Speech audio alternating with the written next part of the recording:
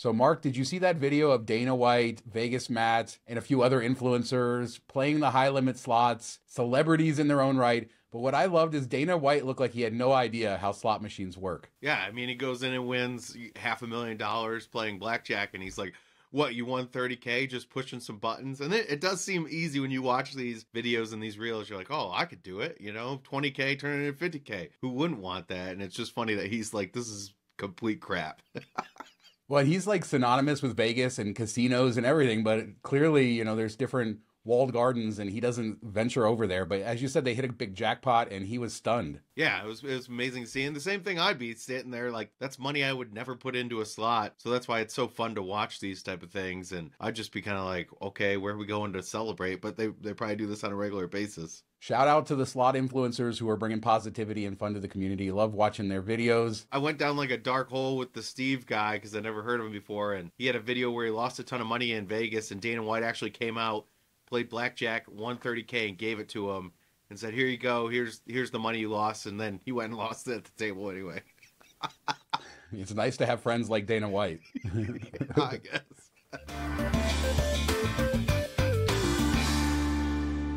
big news of the week, Mark, was bed bugs. I guess the media made sure that everybody knew that a few places had bed bugs over the last few months. I mean, we have 155,000 hotel rooms or something crazy like that, but bed bugs were found everywhere from Excalibur up to Encore. Encore, very interesting. They have bed bug sniffing dogs. They tout that as their benefit to get rid of everything. I think it's not so bad when you only have a few cases out of as many tourists and rooms that we have. People think bed bugs deal are dirty or or from low CD places and motels, and they can show up anywhere. Like they don't care. It has nothing to do with cleanliness. If they come with someone, they're going to make a little home there, and they're gonna they're gonna live there for a bit. And you might not see them like early on.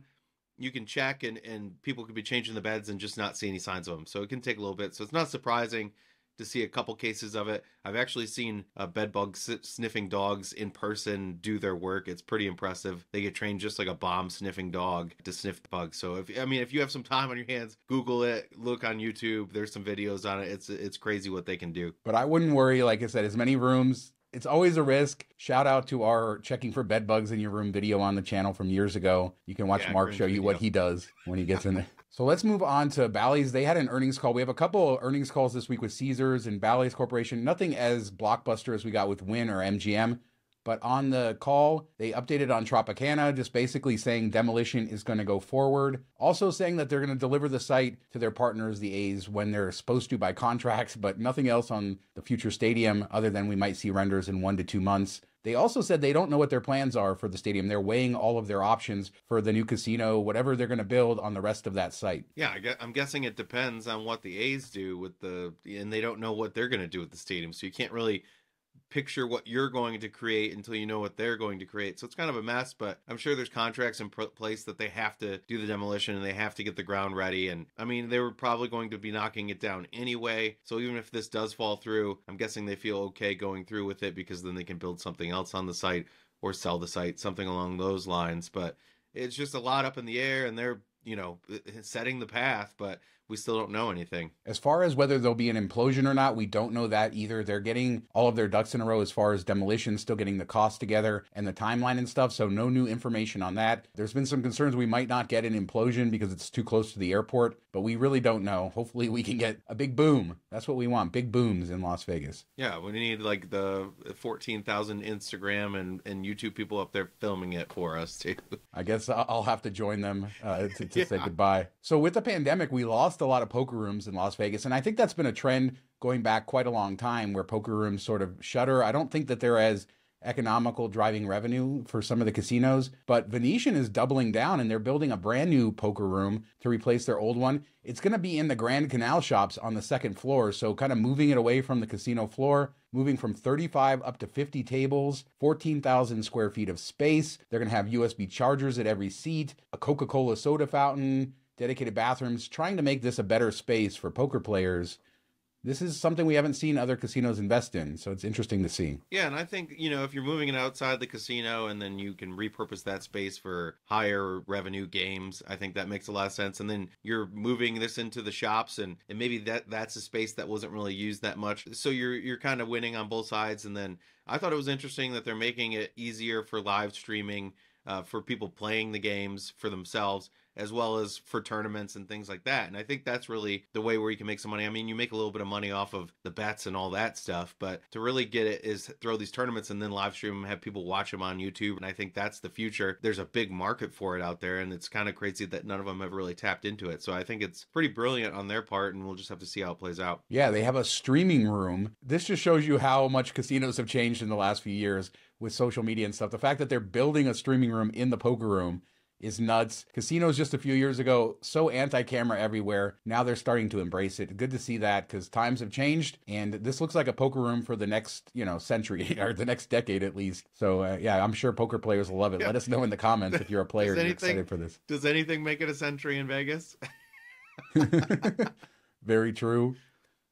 What is cool in Vegas is fog. We don't get fog that often in Las Vegas, so I thought it was worth pointing out because we just had a beautiful night with low hanging fog over the strip. Got some cool aerials from the airplanes, some other shots around town. Makes it look uh, very atmospheric. I was thinking more like industrial. Like it, it looks instead of fog because it's a weird the way it's set up and where it stops and you don't really see that anywhere else. It's just kind of like this almost like a cloud, like just this one area that's held. And it kind of reminds me of like stack smoke coming out of like an industrial plant that you see and it kind of trails off. So that's almost what it looks like to me, which still gives it a cool effect. Like the sphere with the blue lights, that looked really amazing in the fog. And, and just seeing it from the airplane of how it was separated, there was like no fog above, no fog below it was really really cool but it just kind of gave me that like early 1900s vibe for some reason. People say las vegas is ugly it's just desert yet we are always able to show these cool visuals whether it's the snow in the mountains the fog. It really displays so many different ways depending on the weather and everything so it's always nice to see something different a different look at the beautiful lights and the strip and everything else. If you want to see beauty i mean just take a drive out to laughlin and you see tons of awesome expanse. Desert i mean desert can be beautiful too and i thought it was really cool. Uh, different sight lines stuff like that the river everything. I mean there's a lot of good nature stuff around that people don't give it credit for. You and laughlin okay. Let's yeah. talk dave portnoy. He was in town for the super bowl he did the one bite pizza reviews we talked a little bit about it but he reviewed four different pizza places when he was here including Sand Dollar Lounge, which we're going to talk about on our bonus show Sunday. We have a bonus show coming up talking about your time in Las Vegas, your thoughts on Fontainebleau, going to Golden Steer, all of that. So people should check that out on Sunday. Sand Dollar, he gave a 6.5 for their pizza. Now, One Bite Pizza Reviews has become huge. I'm sure a lot of people know it. But basically, the idea he gives a score out of 10 when he takes one bite and he reviews pizza all over the country. He takes like six bites, but he always says everybody yeah. knows the rules one bite, and then he like munches on a whole piece of pizza and then says the score. so other places he did, he did Red Dwarf, which is another divey bar that has Detroit pizza. He gave that a 7.5 out of 10, which is a pretty good score for him. Monzu Italian, he gave a 7.8 out of 10. The crust on that Monzu Italian looked phenomenal. I don't know how a crust can look so tasty, but this one did. And then the best in Las Vegas, the best score he's ever given to pizza in Las Vegas, Dom DeMarco's at 7.9. So that's one that's on our list, I think, for the next time you're in town. My yeah. buddy's been telling me about it forever. Looks great. Yeah, Dom DeMarco's in the video. It just drives me nuts that he's like standing there talking to the owner and the cheese is like sliding off the pizza. And I'm like, dude, just eat it and then talk. Like, don't let it all ooze out and drip and all that stuff. But Red Dwarf, uh, it looked pretty good for Detroit style pizza. I thought the crust and the edges all looked like they got uh, taken care of. They put a decent amount of sauce on it. So I think that's a good option uh, there. I, I, really like the. He showed a little bit of the inside too. It looked really cool, kind of tiki bar esque, and a little place I'd never heard of. So I'm kind of excited to check that out. Not so much for the pizza, but more just for the environment inside. It looked amazing. So much good pizza in Las Vegas now. It feels like we're in a pizza renaissance, not just in Las Vegas, but everywhere. You shouldn't eat a bad piece of pizza because there's so much good stuff around. Don't waste your calories on the bad stuff. The pizza at Resorts World, every time I walk by it, I forget the name, like Murberry or whatever. It looks horrible every time, so don't eat that probably. It looks like Sbarro's. I don't know what they're doing there. As a reminder, we have our Patreon. We do a weekly after show. $5 a month gets you access to it. Listen to it as a podcast, watch as a video. Mark and I have a lot of fun going more in depth about Vegas, joking around, all that good stuff. Patreon.com forward slash MTM Vegas. For more information. So, a couple weeks ago, we talked about GVR and I showed you guys the new high limit room that they put in there. The slot room wasn't quite done because it's in a separate area, and now it is open. And Green Valley Ranch shared a video of what it looks like. Not a surprise, it looks stunning, it looks strip level very similar to the table area and uh, just a step up for Green Valley Ranch for sure. Yeah, it looked really, really nice. I thought there was something interesting pointed out in that episode, like in the comments. Wasn't there some type of law that there is in Vegas that they have to let you into those rooms? And I know, sometimes people feel like if they're not playing, they can't go in and sit at the bar. But as you said, and some some other commenter brought up, you can. Like you have every right to go in there and order a drink and sit down they can't stop you, right? Correct. When gaming's going on, it has to be open to the public. So that is the rule. I don't know as far as what you could do behaving in there, you know, as far as loitering or what's going on, but those spaces, every high limit room, they're open to the public. So you can certainly peek in there, look in there, see how the other half lives. Maybe you'll see Dana White and Vegas Matt playing high limits or something like that on slot machines, but always fun to go in there. But Green Valley Ranch stepped it up big time. Station Casino stepping it up for the high limit for the high net worth customers. That's clearly their focus these days. I mean, that's what everybody's kind of moving to is the the high end stuff. So it's cool to have it at a locals casino, and like we've always said, they probably have better drinks, better pours in their uh, higher shelf stuff. So if you go put a little bit of money in, and we've even mentioned sometimes they have dollar machines or not like hugely expensive machines. So it's worth going in and checking out and seeing what you can get comped while you're there. So Terry Fator is out at MGM Resorts. If you came to Las Vegas for like a decade, right, just driving down the strip on the Mirage marquee, you would see Terry Fator. and he did that showroom, the old Danny Gans showroom at Mirage forever. In COVID, he moved to the Zumanity showroom, and then of course Mirage got sold off. He was there kind of temporarily, and then they moved him into the Liberty Loft. This is a space I hadn't really ever heard of. It was an event space that's kind of used as a theater. It sits above Tom's Urban in the sports book on the third floor. You have to take an elevator there. So he's fallen all the way down to this theater, and now he's out at MGM. Rumors are he'll go to Strat for a residency and he wasn't happy with the theater. I can't imagine he was given where he was and then where he ended up. If you've had a show for that long and been successful, it's kind of a slap in the face to get put into basically this back storage room type of cast off place that we used occasionally for private events, but never really did a show in it. And then they're like, hey, why don't you go there? I mean, that's kind of saying, get out of here. So I'm glad he's finding a new home. And he was big when he first came out. Everybody loved the show. It's kind of like Blue Man Group, like we talked about. I don't hear a ton about it anymore. So I wonder if it's run its course a bit, but maybe this breathes some new life into it and gives him some new clientele. So good for him and, and happy to see it. Yeah, I wonder if ventriloquism is like a something of the past, right? It's not very contemporary and modern, and maybe the tastes have changed a little bit. That theater at New York, New York was only 400 seats, and he's been there for a couple years, so that just tells you that he's not drawing thousands and thousands of people to show. So he probably didn't need it, but hopefully he does better at the Strat. In 15 years of success with MGM Resorts on the Strip, certainly to be congratulated on that. So Pinky Ring, that new venue uh, by Bruno Mars, has opened at Bellagio. If you remember, that was supposed to open at Mirage, where the renovated rum bar is, and obviously MGM decided to sell it, moved it to Bellagio. It's another venue where they're not allowing phones inside or allowing people to film. Although one person on Twitter uh, seemed to be a VIP at Bellagio, he was able to capture a video inside so we can see it. Uh, looks great. It's nuts how many venues these days don't allow you to film. We see a couple at, at Wynn and a couple at Bellagio now. You think that's good where you get your privacy, you get a kind of an old school throwback experience without all the phones? I mean, we talked about this with the U2 show, like everybody holding up their phone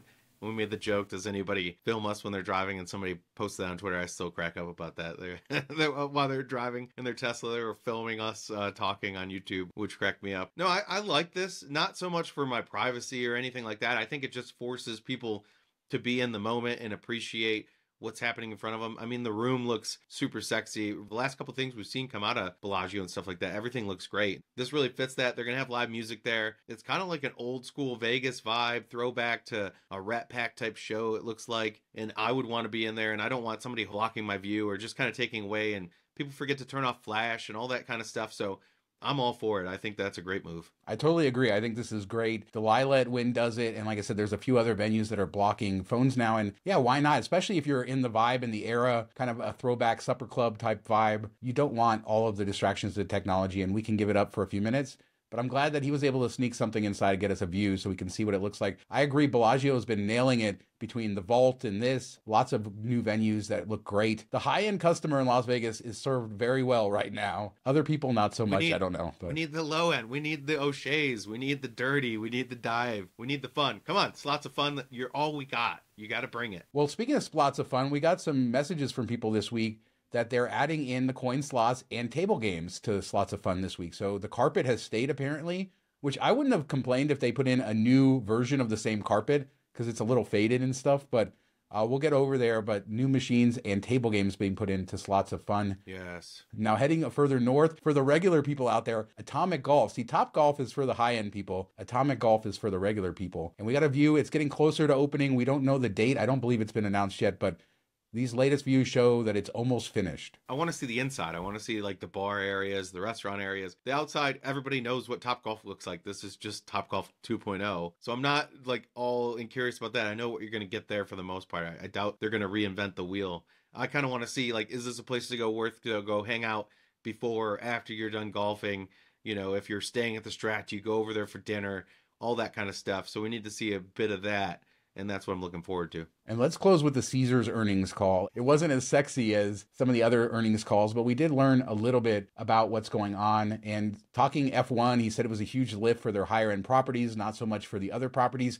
And just like the CEOs of Wynn and MGM, he said that they have to do better for the lower end properties and for the city. This is a talking point. You have to think that this is almost rehearsed, that on each earnings call, they're saying this to kind of appease everybody in the city who didn't do well. Of course, Caesars expected a 5% EBITDA bump, they said from F1, and only got a 4% bump. So not too far off their projections but they clearly suffered a little on the low end. Everybody thought this would be kind of like Super Bowl, and I'm excited to hear what the Super Bowl brought for everybody because I think it'll be completely different. You'll see it across the board, all venues, all you know, local businesses. Everybody's going to see that bump, and this we saw it just at a certain select few properties, and but that care if you had one of those, it carried enough to bring everything up but you know you saw it dip on the on the other end so they do need to figure out a way to do the messaging there to get people in you know make it a full on event throughout the whole city not just you know for high end people coming from uh, overseas and stuff like that. So tom reeg the ceo was asked if they're going to sell a property which they're asked on every earnings call. And as he said quote in terms of asset sales everything's for sale every day in a public company but we're not anticipating doing anything actively on our end. So we had those rumors last year that they were looking to sell a property. He even came out and said at one point that they were looking to sell a property. High bids welcome. Everything else no thank you. Yeah it's kind of like in sports when the gm's like oh is that person up for on the trading block? Well everybody's on the trading block if it's